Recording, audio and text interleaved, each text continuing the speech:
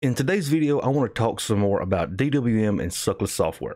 Well, DWM and slstatus to be more specific, because since my last video about DWM, my config has changed a fair amount because I have modified some scripts, I've made things a lot better, a little more dynamic, and I've even added an external menu and some click actions to the bar. So, without further ado, let's get started.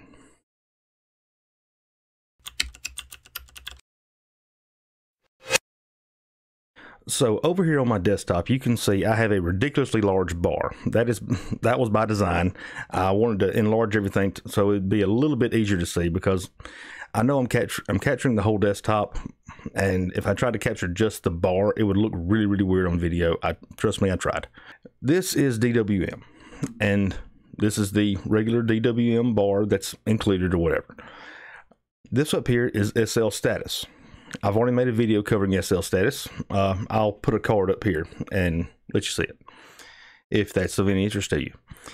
What I've done, I have actually changed a lot of these scripts because slstatus out of the box will use C functions because they're a little bit faster and a little light, a little more lightweight to populate items in your menu.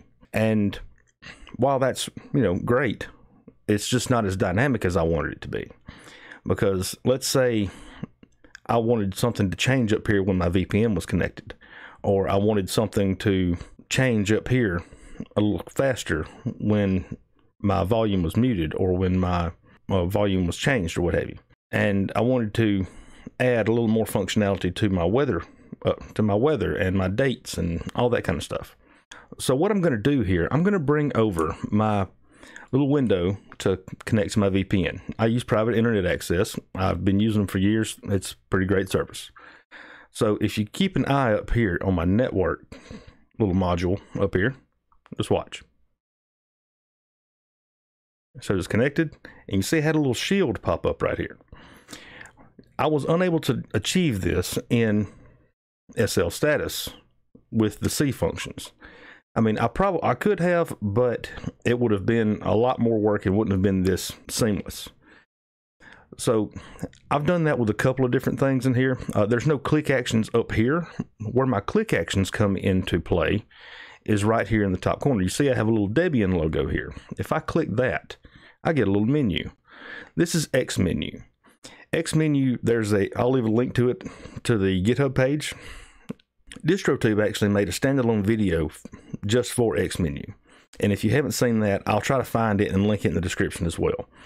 It is a great little menu, and I think it adds a lot, a little more functionality to the desktop anyway. Especially if you wanted just a quick little menu. If you were feeling lazy and your hands were already on the mouse, click the menu and, you know, just launch your file manager. Why not? So, anyway, I just kind of wanted to show that off. But what I wanted to, what I mainly wanted to do was show off the scripts that populate the bar.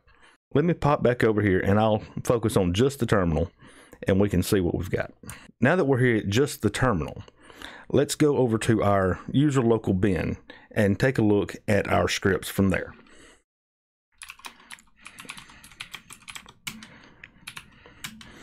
You see I have a lot more in here than what I used to have. So I have battery.sh. That's for my laptop. Don't worry about it. I have one for clock. I have one for CPU. I have one for forecast, HDD, memory, network, packages, and I'm still using that vol sh. And I'm using, uh, I was using weather bar, but that's a that's a different thing. Uh, forecast, forecast is mainly for this right here or DWM blocks because I had that set up too just for testing. So now with all that said, let's take a look at some of these scripts. Let's tell you what, let's take a look at the clock. So let's vim clock.sh. And you see clock equals date, you know, plus percent i. We're calling that right there because it's going to give us either a 0, 0 through a 12. What I wanted to do there was take those. I borrowed this piece right here from Luke Smith. So thank you, Luke. So when this variable equals any of these, it will change the icon to be uh, to represent the hour. And now, see, I, I did have this set up to go to DWM blocks, but yeah, it's fine. So now all it does is echo out the date in the format that you just saw in my bar. And I'll have and I have all these on my GitHub page if you're interested in any of that. Let's let's take a look at another one. Let's look at let's say the network because the network I thought was pretty cool. So vim network.sh. See what I've got, I have host name equals a bunch of different variations of host name because well every every distro calls it a little bit different. And so now I have wire equals IPA and it greps for either ETH0 or ENP and then greps INET and pipes it through word count. Wi-Fi does the same thing except it greps WLAN and then INET and then pipes through word count. So if wire equals 1, it echoes out my Ethernet port. And then it gives me the host name dash I, pipes that through awk, and prints the first column. That's what gives me my IP address. But if I'm hooked up to Wi-Fi, if Wi-Fi equals 1, it gives me the Wi-Fi icon, my IP address, or hostname dash I, and then pipes through awk and prints the first column to give me my IP address. If I'm not hooked up to anything, I get the Wi-Fi signal with the slash through it. Another thing I have is if my VPN state, and so for my VPN function, state equals IP-A, and then it greps tun zero, because tun zero does not exist in IP space A when the VPN is not connected. So it greps tun zero, then greps inet, pipes that through word count. So if state equals one, it echoes out my little shield that you just saw. If it doesn't, it echoes nothing. So to get all that together, all I did was echo out network and VPN. And don't worry about this. This was just something I had I was playing with, messing with DWM blocks. And I've got similar things set up for every item in my status bar. So now let's head over to, to my slstatus config and I'll show you how that's set up there. So if I cd into dot source where it's located in slstatus, and then let's vim config.h.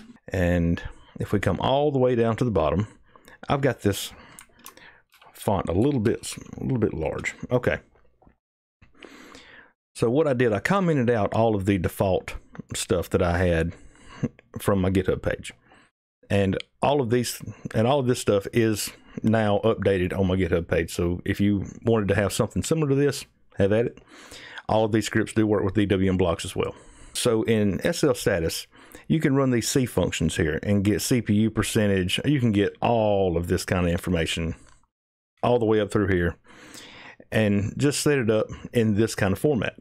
And you can even add icons and all that kind of stuff. So what I've done, I have commented all this out because up here you can also do a run command. You can run a custom shell command. So all of those dynamic scripts that I showed you, I've got those called here. So I have CPU, memory, packages, upgrades, HDD, network, volume, weather, and clock. All of them are custom shell commands. And yes, I know shell commands may be a little bit slower than C functions, but these are way more dynamic now. And to sacrifice a little bit of speed, in my opinion, it was a little bit worth it because, well, it just was. So now that we're out of that, let's go into my DWM config and I'll show you where I call Xmenu in my top corner. So I'm going to go back one directory and cd into DWM. Now vim config.def.h. And here you see a little Debian icon. That is from the status button patch. If you go to if you go over to suckless.org and go into the patches, you'll see like a status button patch. All I did was patch that in. Everything went fine. It added this line into my config.def.h. And by default, it will launch dmenu. I didn't want that because I've got a key binding for that. So I changed the icon and then came all the way down to the bottom. So down here at the bottom, that patch added this line to the to the config file. And what it did essentially was just run dmenu. So all I did, I left everything alone. I even left the spawn function alone, but I changed that dot .v equals dmenu cmd. I changed that to shcmd for a shell command. And I have it run xmenu.sh because the keen-eyed among you probably saw xmenu and xmenu.sh in my user local bin. Those are actually symlinks to the xmenu file, or to the xmenu folder that we were just in. So I just ran make on that after I after I configured everything and added this, logged in, logged out, and boom, it started working. So that's about all I've got for today. I just kind of wanted to show off some of the things that have changed in my DWM config and my slstatus config, and really just show that you can use the same kind of functions in slstatus as you can in DWM blocks. Because when I was showing those scripts, you saw those little case statements at the end where they would signal DWM blocks, but they were working just fine in slstatus. And I also wanted to show Xmenu in action because Xmenu is it's a very easy to customize little menu and why more people aren't using it, I don't know.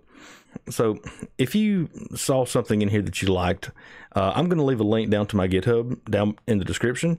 And if you see something that you think I could have done better with, let's say, you know, uh, a different configuration for a module in the status bar, or uh, a better theme, or a better Vim theme, or a better whatever, leave a comment. Let me know. So, like always, thank you for watching. Like, share, and subscribe. Y'all have a nice evening.